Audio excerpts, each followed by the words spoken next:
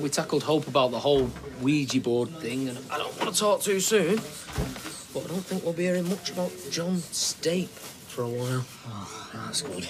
If he's get married next year, maybe Hope can change her name as well. I'll cut all ties with him completely. Yeah. Next year. What? Hmm? Nothing. Right, I wasn't going to tell anyone because it's top secret, but I contacted the hotel and they've managed to squeeze us in sooner. How soon? Christmas Day.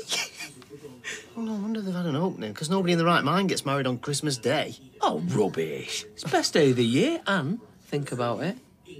I'm never going to forget my anniversary. And Fiz is on board with all this. Oh, you see, that's the best bit. She knows nothing about it. I'm planning it all myself. Can't wait to see her face. Yeah. Yeah, me neither.